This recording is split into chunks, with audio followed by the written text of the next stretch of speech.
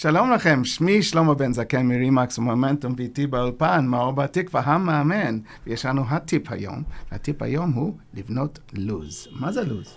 מה זה לוז? אז קודם כל אני ממליץ לכם לפרק את הלוז, את היום שלכם, לארבעה רבעים. ברבע הראשון אתם צריכים לעשות שיחות טלפון לקביעת פגישות. הרבע השני מיועד לפעילות שטח, הרבע השלישי מיועד לבק אופיס, והרבע הרביעי גם מיועד לפעילות שטח. כשאתם לוקחים את היום ומפרקים אותו לרבעים, יש לכם הרבה יותר יכולות וגם יותר זמן לבצע את כל המשימות האפקטיביות לעסק שלכם.